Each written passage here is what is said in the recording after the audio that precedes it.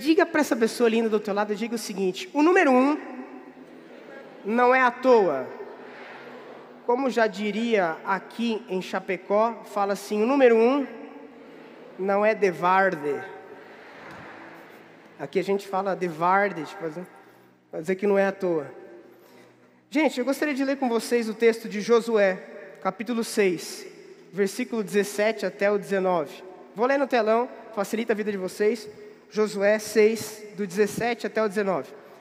Olha o que, que diz. Está falando da conquista de Jericó. Um recado que Deus está dando a Josué, a toda a nação de Israel. Diz o seguinte: Porém, a cidade será. A cidade será. E ela e tudo quanto nela houver, somente viverá Raabe, a prostituta, e todos que estiverem com ela em casa, porquanto escondeu os mensageiros que enviamos. Tão somente guardai-vos das coisas condenadas, para que, tendo-as vós condenado, não as tomeis, assim torneis maldito o arraial de Israel e o confundais. Porém, toda, toda, e, e os utensílios de bronze e de ferro são consagrados ao Senhor, irão para o seu tesouro. Sabe, gente, uma coisa que eu sempre achei, ao ler a história de Jericó, eu sempre achei que tudo lá era amaldiçoado. Eu sempre achei que tudo é amaldiçoado, mas lendo esse texto, eu vi que é impossível ser tudo amaldiçoado, até porque Raabe haveria salvação para ela. E além de ter salvação para Raabe, a Bíblia diz que a prata, o ouro, deveria ser resguardado ao Senhor e ao seu tesouro, à sua casa. Agora, você sabe uma coisa interessante aqui? Que eu pensei, mas por que isso? O que Deus estava dizendo ao povo é que eles teriam a obrigação de não quebrar um princípio. Sabe qual é o princípio? O princípio da primícia. O princípio de Deus em primeiro lugar. O povo atravessa o Jordão, ele já está em terra prometida, só que eles vão conquistar a primeira cidade. E Deus fala: bem, como vocês vão conquistar a primeira cidade, é natural que se vocês vencerem a guerra, vocês têm direito aos despojos de guerra. Segundo as leis dos despojos de guerra, o povo teria direito de pegar para si aqueles despojos. Mas Deus diz: não, vocês não vão pegar esse despojo, vão levar para minha casa todo o ouro e todo o tesouro. Quem assim pegasse, amaldiçoaria todo arraial de Israel. Sabe, gente, uma coisa que acontece nessa conferência e até então, se você me perguntasse, eu te falaria de bate-pronto que eu quero colocar Deus em primeiro lugar. Mas eu não saberia explicar o princípio disso se você me perguntasse lá em maio do ano passado. Toda a conferência Conquiste, o pastor Edson sabe disso? A primeira uma hora, pastor Edson, vocês ficam cantando aqui para quem? Para Jesus. 18 horas, a conferência começa às 19 horas, 18 horas, eu boto todos os músicos aqui, eu falo, pastor Edson, nós não vamos cantar para a gente, nós vamos cantar para Jesus. Desde a primeira conferência, é uma hora, músicas que digam que Ele é santo, que Ele é maravilhoso, que Ele é lindo, que Ele é adorado, que Ele é perfeito, que Ele é o médico dos médicos, que Ele é o Senhor do Senhor, que digno de toda honra, toda glória e todo louvor seja Ele. A primeira uma hora é assim. E, e sabe, gente, não fica claro aqui Deus dizendo, não, esses despojos levem ao templo, porque é o princípio das primícias. Ele não fala isso. Mas para mim fica muito claro que Deus estava preservando o povo, dizendo: guarda o primeiro lugar para mim. Coloca os primeiros despojos para mim. Eu acho tão interessante que eu comecei a pesquisar sobre esse texto, e Flávio José, um renomado historiador da época, ele escreve o seguinte acerca desse fato: ele diz: deveriam levar ao mesmo lugar todo ouro e toda prata que encontrassem, para oferecer a Deus como primícias, e os despojos daquela que era a primeira cidade, que fazia cair nas mãos deles, deveriam ser oferecidos em ação de graças pela assistência que lhes prestava. Sabe, gente, uma coisa que me incomodava, falou assim, ó, algo dentro de mim dizia, eu não sabia explicar. A primeira é uma hora, Lucas, cante para mim. Na segunda conferência, a primeira é uma hora, Lucas, cante para mim. Na terceira conferência que é essa, a primeira uma hora, cante para mim, consagre a primeira parte para mim. Coloque, me coloque numa posição de destaque. E sabe, toda vez que a gente fala no, em primícias, que é uma coisa que a gente não entende tanto, porque não é tão falado acerca disso, A primeira vez que a palavra primícia é citada na Bíblia é em Gênesis capítulo 4, que o slidista vai abrir, no versículo 3. Gênesis 4, 3. Olha o que, que diz. Vou ler até o 5. Gênesis 4, 3. Aconteceu, fala comigo, no fim de uns tempos, trouxe caindo o fruto da terra uma oferta ao Senhor. Versículo 4. Abel, por sua vez, trouxe das do seu rebanho e da gordura deste, agradou-se o Senhor de Abel e sua oferta, verso próximo, ao passo que de Caim de sua oferta não se agradou. Irou-se, pois, sobremaneira Caim, e descaiu-lhe o semblante, versículo 6. Então lhe disse o Senhor: Por que andas irado, Caim? E por que descaiu o teu semblante? Versículo 7. Se procedestes bem, não é certo que será aceito? Se todavia procedestes mal, eis que o pecado jaz à porta e o seu desejo será contra ti, mas cumpre a você dominá-lo. Peraí, pastor, Caim trouxe uma oferta e ele procedeu mal? Mas, pastor, eu dizimei, eu ofertei, eu vim na conferência, eu orei, eu, eu procedi mal. No fim de uns tempos, trouxe Caim uma oferta Abel, antes de comer, pegou das primícias e consagrou ao Senhor. Gente, o número um, quando diz em Mateus 6,33, buscar em primeiro lugar o reino de Deus e a sua justiça, e todas as demais coisas serão acrescentadas, o número um não é uma religiosidade, o número um é um princípio que não pode ser quebrado. Sabe de uma coisa, gente? Princípio, quando você quebra, você mesmo padece. Você não quebra princípios, são eles que te quebram. Existe um princípio no mundo espiritual que diz que Deus tem que estar em primeiro lugar. A Bíblia diz que um homem chamado Acã cobiça uma capa babilônica, nesse mesmo texto de Josué, e pega uma barra de ouro e esconde debaixo da sua tenda. Todo mundo sabe da história? Israel marcha por sete dias, sete vezes, as muralhas de Jericó caem, eles invadem, ganham, a, Acã pega a barra de ouro e a capa babilônica, esconde na sua tenda. Josué ganhou essa guerra literalmente, sabe como? No grito, ele gritou e ganhou. Josué fala o seguinte: é, pessoal, exército bom fica aqui. Separa um exército pequenozinho para derrotar um inimigo chamado Ai. Ai era pequeno tanto no nome quanto no seu exército. E Josué falou: não vamos nem mandar todo mundo para enfrentar Ai. E aí ele foi, com esse seu exército pequeno, para destruir Ai, logo depois de Jericó. Sabe o que acontece? Eles são destruídos, eles perdem a batalha. Josué é a pessoa, mas o que está acontecendo? E volta. Mas o que aconteceu? Eles buscam a Deus e Deus diz: Vocês não cumpriram o princípio das primícias. Acã pegou uma barra de ouro e uma capa babilônica. Sabe de uma coisa, gente? Toda vez que eu e você não guardamos o primeiro lugar para Deus, a unção de conquista é comprometida. Toda vez que eu e você não colocamos Deus no lugar que Ele é devido, o número um não é à toa. Primeiro é Deus, depois você. O lugar de honra é do Senhor.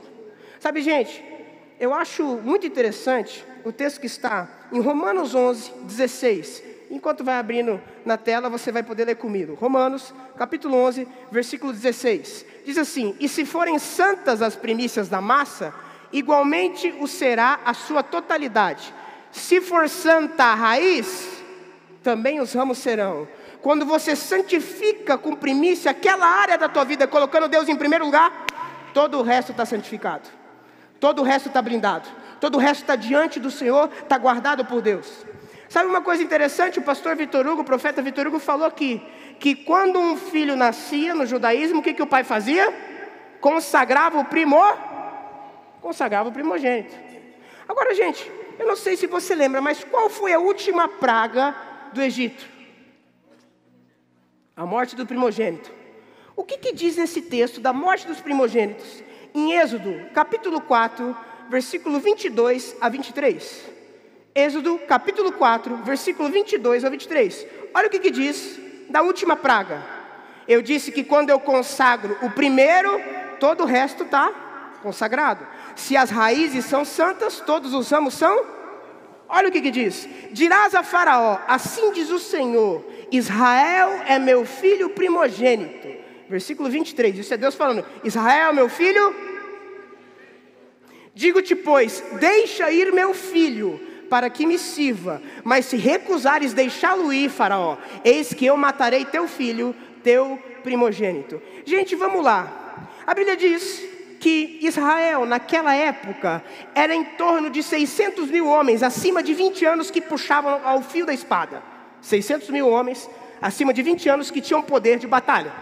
Vamos imaginar que cada um é casado com uma mulher, o que é ilusório, porque a gente sabe que eram casados com mais. Vamos imaginar que cada um tem três filhos, o que é ilusório, porque tinha mais. No mínimo, estamos falando de 3 milhões de pessoas. Eu estou aqui com duas mil e poucas, já é difícil ver o que está lá atrás. A Bíblia diz que Deus olha para mais de 3 milhões de pessoas e diz: Meu filho.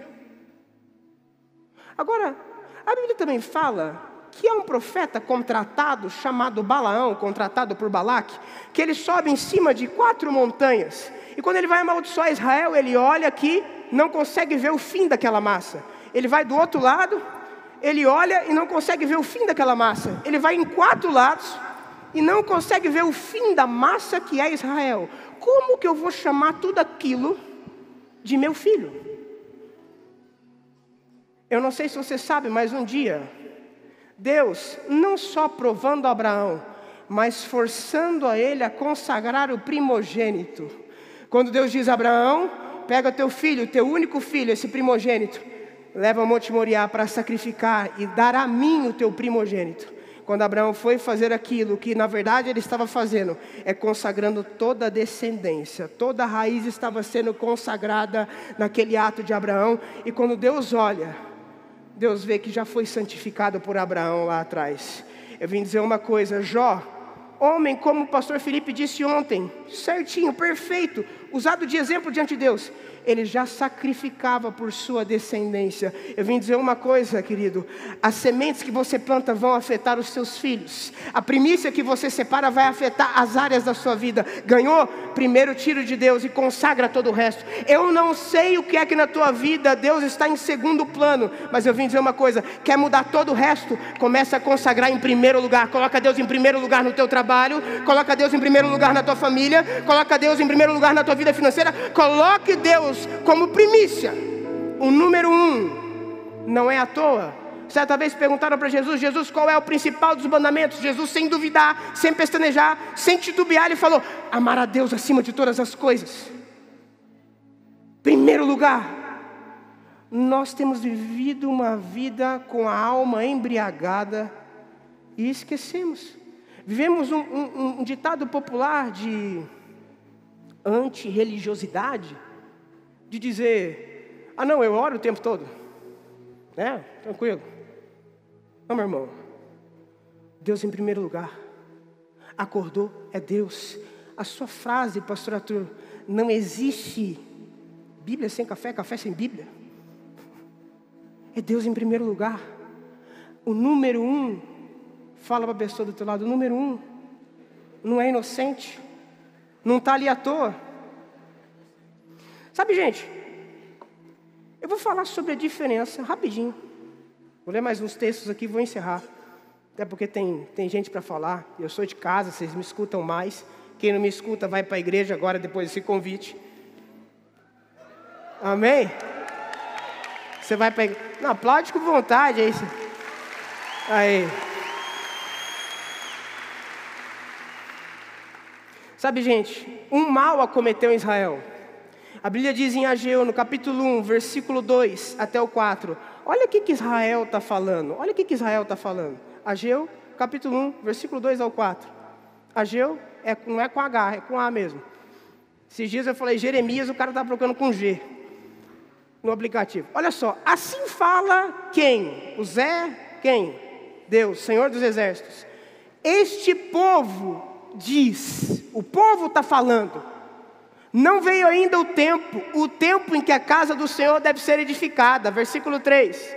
Veio, pois, a palavra do Senhor por intermédio do profeta Ageu, dizendo, versículo 4: Acaso é tempo de habitar de vós em casas apaineladas, tudo certo, tudo bonita, quando a minha casa está em ruína? Ou seja, é certo você priorizar a tua casa e a minha casa não? Versículo 9. O grande pressuposto que eu e você vivemos falando, não, eu não vou fazer agora essa coisa porque eu estou esperando dar uma melhorada. Não, eu vou, eu vou tirar o primeiro lugar para Deus o dia que eu estiver mais tranquilo.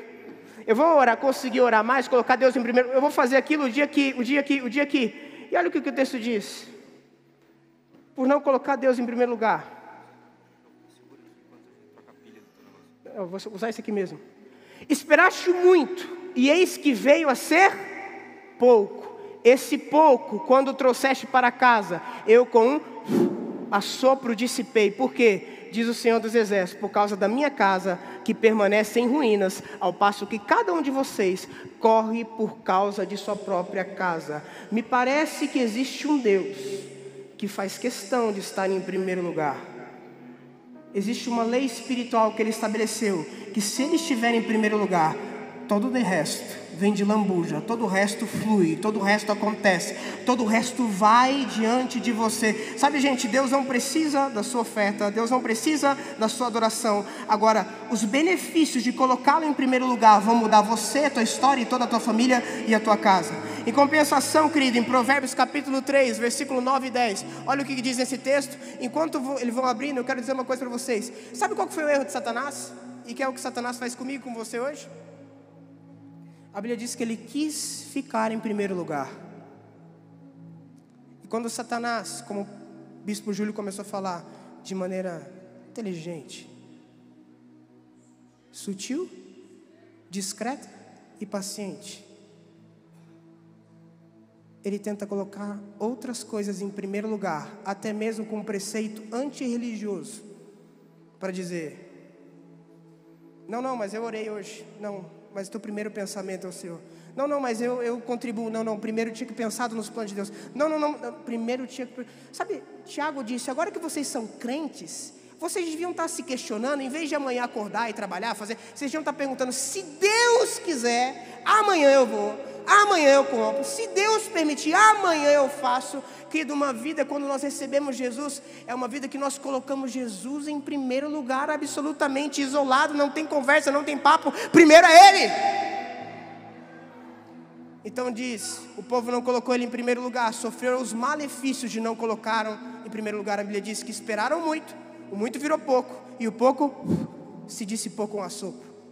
Agora em Provérbios capítulo 3, versículo 9. Eis o resultado de quem coloca Deus em primeiro lugar.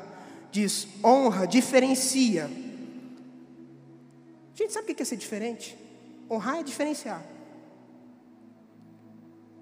É igual você estar tá conversando com uma pessoa e fala, poxa, é igual você estar tá com o Judá no meio de uma mesa e fala, esse cara é diferente. É diferente. Está dizendo, diferencia. Honra ao Senhor com os teus bens e com as primícias de toda a tua renda Resultado? E se encherão fartamente os teus celeiros, e transbordarão de vinhos os teus lagares. Querido, essa é a minha palavra. E eu queria encerrar ela da melhor maneira possível. O número um não é inocente, o número um não é à toa. Eu não sei o que é que hoje, quem sabe, tem tomado mais tempo, tem tomado mais a tua mente, tem tomado mais a tua vida, mas está na hora de você trocar de lugar e deixar Deus assumir o trono e o lugar que é dele por direito na tua vida e na tua história. Eu não sei, quem sabe você chegou aqui, gente, com mil problemas, e você esqueceu que tem o dono do ouro da prata, o Todo-Poderoso, acima de tudo e todos, que tem que estar em primeiro lugar, na ocupação da sua mente. Na, não é preocupação da tua vida, tem que pensar em honrá-lo, buscá-lo nas tuas finanças há um resultado de prosperidade quando colocamos Deus em primeiro lugar, assim como há um resultado de desgraça quando esperamos muito, esperamos o, o melhor cenário favorável para colocar em melhor lugar. Há uma crise que acomete a minha e a tua vida por não colocá-la em primeiro lugar. Então, eu gostaria, querido, de te dar 15 segundos para quem sabe colocar algumas coisas em primeiro lugar da forma que você está. Quem sabe tem algumas coisas que tem que ser colocadas em primeiro lugar. Quem sabe teu compromisso de congregar não está em primeiro lugar. Satanás é sutil, mas chegou uma visita, pastor. Pois é, pode ir qualquer outro horário, mas não nessa hora. Não na hora que eu separo para levar a minha família para receber de Deus. Ah, pastor, mas é que veio um compromisso. Não, não. Você não vai na igreja para ver um pastor, você vai por causa de Deus. Não, mas é que esse mês eu tive que investir naquilo. Não, mas não, não, não se trata de investimento, se trata de para quem você está honrando, a quem você está sendo fiel. É Deus. Se Ele não. O resto pode esperar, Deus, Deus não espera. Deus hoje diz: pare de esperar os, ide... os cenários ideais para se demonstrar fiel e colocá-lo em primeiro lugar. Vou te dar 15 segundos, querido, porque eu tenho que fazer algo aqui essa noite ainda. Fale com Deus. Espírito Santo, de maneira doce e simples, Pai, nós queremos consagrar, consagrar e colocar o Senhor em primeiro lugar em nossas vidas. Se tem algo hoje, Deus, que ocupa o lugar de primazia na nossa história, nós destronamos para a honra e glória do Teu nome, Deus. Não é dinheiro que nos governa, não é ego que nos governa, Deus. Não é popularidade que nos governa, Deus. Não é, Deus, palavras de homem que estão em primeiro lugar. Eu não vivo em busca de uma aprovação, Deus. Eu vivo para te adorar, para te servir, Deus. E aonde chegar, mostrar que o Senhor está em primeiro lugar. Faço tudo para a honra e glória do Teu nome, Jesus. E é neste lugar, em primeiro lugar, que nós não te tiraremos da nossa vida, no nome de Jesus. Amém, amém e amém.